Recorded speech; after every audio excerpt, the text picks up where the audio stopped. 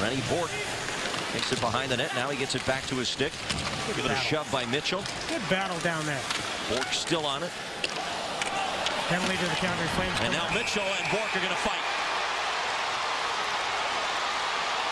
And Mitchell might have taken a couple of punches, but he ends up on top. Throws him back, too. Yes, he did. Threw some pretty good right there. It was a really good battle behind the net, and frustration must have boiled over. I believe Bourque was getting the original call.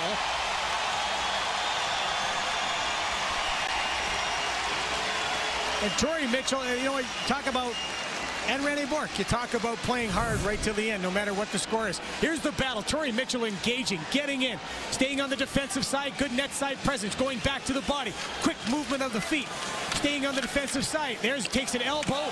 Torrey Mitchell you know what, I'm not taking an elbow with that. Drops the gloves first. Even though they got visors on, they're still swinging with all their worth. There you go, finishing things off. Torrey Mitchell